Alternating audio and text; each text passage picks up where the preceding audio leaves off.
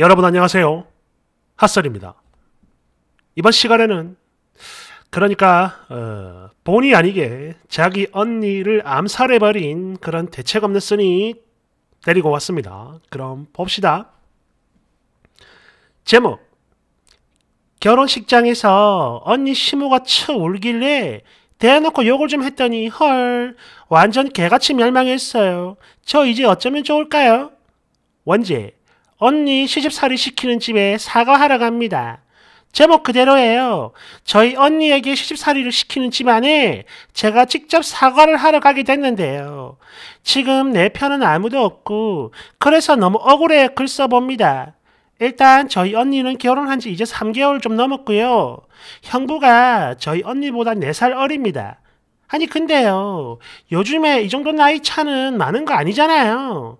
아 물론 저희 언니는 30대고 형부는 아직 20대이긴 하지만 어쨌든 둘 다 성인이고 아무 문제 없는데 언니 시댁은 이걸 가지고 예전부터 엄청나게 쪼아댔어요. 그래서 어지간히 귀한 아들내미인가 보다 이렇게 생각을 했죠. 그리고 근데 그래봤자 나하고는 상관없잖아. 내가 결혼하는 것도 아니고 그냥 언니의 하소연만 들어주면서 그냥 저냥 그렇게 넘겼어요. 솔직히 기분이 좋은 건 아니었죠. 아니었지만 그래봤자 뭐 상견례 말고 제가 그 사람들 만날 일 따윈 없으니까요. 어쨌든 결혼 전부터 많은 그지 같은 일들이 있었지만 언니하고 형부는 사이가 좋았고 뭐 결혼 준비도 잘했어요. 그랬는데 문제는 바로 결혼식에서부터였습니다. 아주 그냥 폭포처럼 눈물을 흘리는 신랑 어머니. 절대 좋은 풍경은 아니잖아요? 특히 신랑 신부가 절을 할 때는 와 이게 무슨 장례식장도 아니고 꽁꽁아 이러면서 아예 대놓고 통곡을 하는데 진짜 미쳤나 싶고 너무너무 화가 나는 겁니다. 당연히 저희 엄마 아빠도 표정 진짜 안 좋았고요. 아니, 우리 엄마 아빠도 울긴 울었어요. 저도 눈물 찔끔 났고요. 그래서 우는 거 그 자체로는 뭐라고 말은 못 하겠는데 그래봤자 결코 정상적으로 우는 모습은 절대 아니었거든요. 아니 왜 통곡을 해? 나 미친 줄 알았다니까. 완전 이거는 엄청 어린 아들을 팔아넘긴 어머니처럼 막 비통하게 울고 진짜 울어도 너무 심하게 우니까 사회를 보던 형부 친구가 아이고 어머님 너무 많이 우시네. 그래요 어머님 많이 슬프시죠? 이러면서 나름 좋게 넘어가려고 웃으면서 멘트를 날렸는데 거기다 대고 굳이 이 할줌마가 땡땡아, 너는 기억하지? 우리 꽁꽁이 옛날 아주 어릴 때부터 이 엄마 껌딱지였던 거.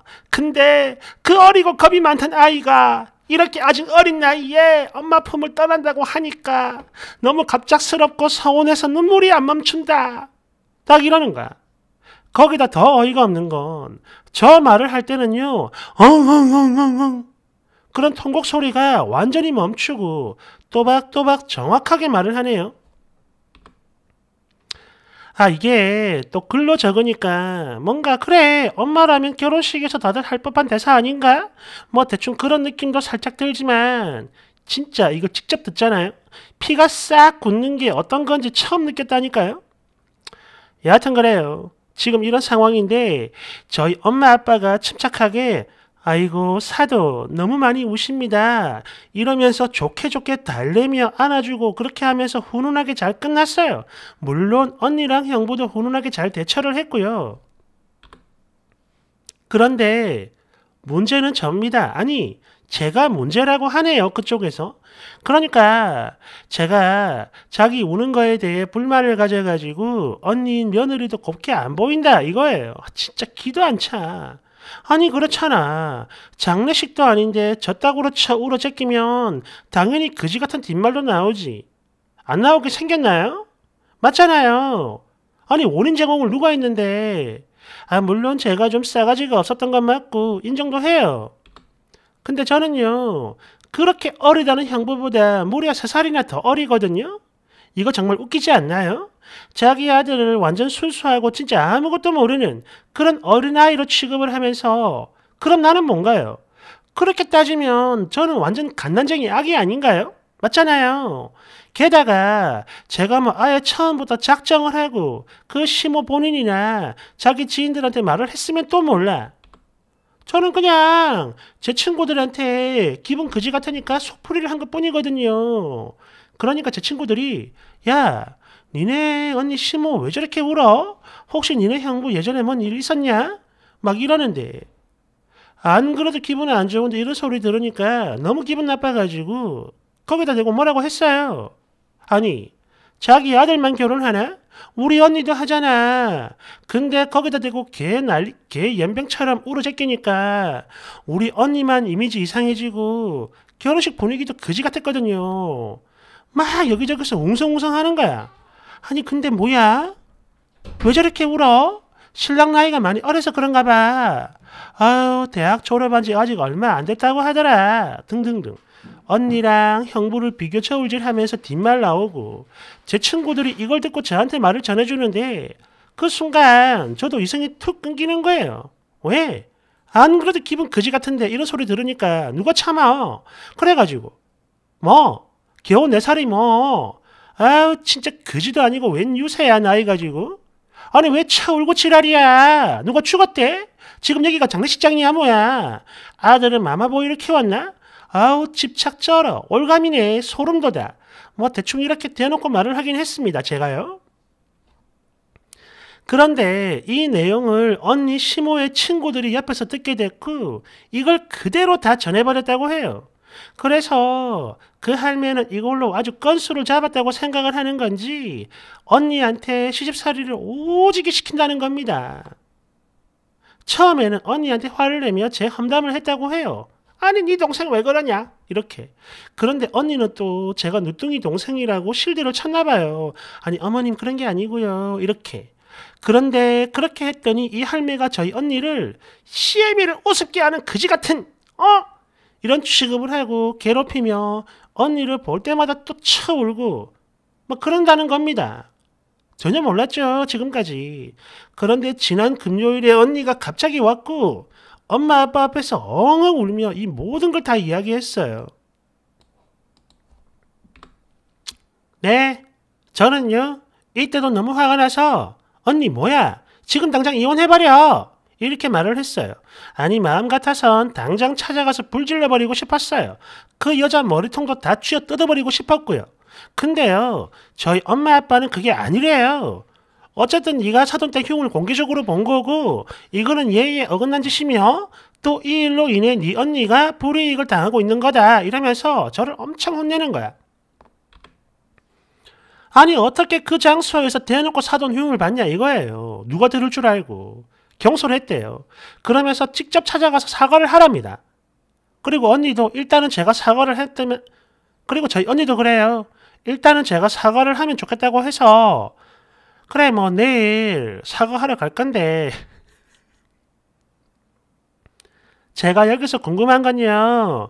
그러니까 제가 찾아가서 사과를 하면 이 일이 정말 해결이 되냐 이거예요. 만약 그렇다면 저는요.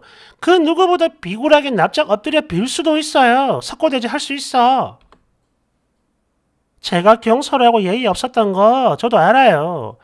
그래서 그 할매 기분 나빴다는 것도 이해를 하겠습니다. 그런데요. 이거 솔직히 제가 흉을 안 봐서도 그래. 어차피 시집살이를 시킬 인물로 보이거든요. 그러니까 제 속이 터져 미쳐버리겠어요. 어쨌든 일단 사과를 하러 갈 거긴 갈 건데 가서 뭐라고 해야 할까요? 댓글 부탁드려요. 댓글 1번 그래 그렇게 통곡하고 그러면 보는 사람 당연히 짜증나죠. 미쳤나 싶고. 근데 그걸 떠나 쓰니는 생각이 참 짧았네. 결혼식장에선 절대로 말 조심했어야지. 누가 들을 줄 알고. 어, 언니만 안 됐다. 2번 이미 건수는 잡았으니 앞으로 두고두고 말 나올 거고 절대로 지울 수 없는 쓰니 언니의 흉이 될 겁니다. 그런 만큼 쓰니도 잘 알고 있어야 하는 게 사돈 처녀가 사돈 어른에게 개지랄로 쳐 울면서 이런 표현 여기가요 아무리 익명의 공간이지만 그 누구도 공감할 수 없게 만드는 그런 표현이에요. 심지어 결혼식장에서 뒷담을 했으니 거기에 대한 책임은 쓰니에게 있는 건 당연하지만 그것보다 님 때문에 님 부모님도 자식 교육을 엉망으로 시킨 사람이 돼버린 거야. 말도요. 때와 장소를 봐가면서 했었어야 해요. 아니 어린 애도 아니고 기분 나쁜 걸 아무 곳에서나 그렇게 막 표현해버리면 누구라도 화내고 욕을 합니다. 그리고 제일 중요한 거 언니 시어머니가 식장에서 통곡을 했던 거 이거 그지 같죠? 알아요. 근데요 이거는요 이혼 사유가 안 되거든요. 하지만 사돈 처녀가 즉 쓴이가 사돈 어른에게 이렇다 함부로 하는 거 이거는 쓴이가 이혼 당할 수 있는 사유가 됩니다. 그게 차이예요. 3번 이건 뭐 완전 멍청하고 어리석으며 성질만 더러운 자의 표본이구만. 깔깔깔깔. 혹시 언니 암살하려고 그런 거 아닌가? 4번. 주둥이 관리를 잘못한 죄 당연히 사과를 해야지 책임지고 님 언니를 위하는 게 뭔지 잘 생각해 보세요. 아 진짜 뭐냐 이게 집안 망신 제대로 시켰네. 5번. 아이고 어리다 어려. 니네 부모님은 뭐 바보 등신 호구라서 달래줬겠냐? 진짜 입이 방정이다. 똥을 제대로 뿌렸어. 6번. 님뿐만 아니에요. 그 자리에 있던 모두가 알고 있습니다. 시어머니라고 하는 여자 주책이고 추하다는 거. 하지만 그 누구도 입 밖에 그 말을 내뱉진 않았겠죠. 않습니다. 어쨌든 좋은 자리고 일단은 경사니까요. 남의 집안 경사. 그런데 님은 그걸 공개적으로 나불나불 입방정을 떨어가지고 사돈 얼굴에 먹칠을 해버렸고 그와 동시에 언니에게 절대 지울 수 없는 약점을 쥐어준 겁니다. 당신은 성격만 사납고 현명함은 단 한 줌도 없어 보여요. 7번 언니 시집살이 시켜도 될 명분을 만들어줘 버렸네 동생이. 야 니네 부모님은 열 안 받으셨겠니? 당연히 열받지. 근데 큰딸내미 고생할까봐 끝까지 참으신 거야. 아주 그냥 집안 망신에 역적질을 제대로 했네 니가. 8번 이거를 반대로 당했다고 생각을 해봐. 니네 언니가 더 어린 상황에서 신랑의 동생이 너처럼 똑같이 니네 부모님 흉을 받고 그게 귀에 들려오면 너는 기분이 어떨 것 같냐? 아니 왜 이렇게 생각이 없어? 9번 대충 보니까 그 시모 안 그래도 나이 많은 며느리 싫었는데 이건 뭐 불난 집에다 화약통을 투척한 거네. 망했어요. 10번 입이 더럽고 참 싸요. 가정교육 충분히 알만하고 또 너를 보니까 니네 언니가 미움받는 이유도 알 것 같아. 11번 그래도 여기는 다들 시자를 싫어하니까 글 올리면 당연히 지편 들어줄 거라고 생각을 했었나 본데 야 그것도 어느 정도라야지 니편 아무도 없다. 아 물론 그 심은 그지 같아 알아. 응. 12번 와 진짜 멍청하다. 정의감에 불타올라 언니를 위한다는 짓이 고작 언니 결혼식에서 사돈어른 뒷담화 하는 거야? 미친 거야? 13번 정상인이라면 사돈 처녀가 싸가지가 없구나 이러고 말아야죠. 이걸 빌미로 며느리 괴롭히진 않아요. 그런 인간은 쓴이가 아니었어도 뭐라도 꼬투리를 잡아 난리치고 그렇게 언니는 지옥에 빠진 거라고 볼 수 있는 거죠. 이거 사과해봤자 아무 소용없을 겁니다. 왜? 이미 갑질을 하는 쪽과 당하는 쪽이 정해져 버렸으니까. 쓰니 언니만 속이 썩어가는 거죠.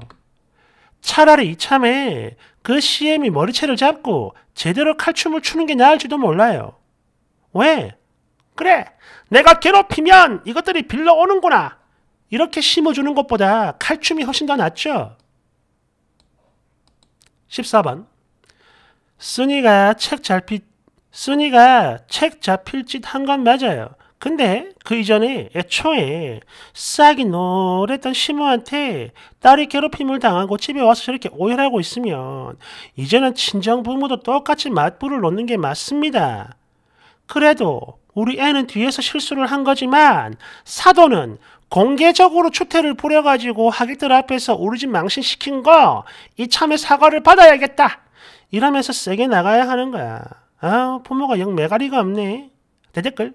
오, 이 말도 맞는 말이야. 이거 뭐 어차피 좋게 되긴 글렀고. 그러니 앞으로 서로가 서로에게 조심을 하면서 건드리지 못하기라도 하는 거. 이게 바로 베스트 같아요. 음.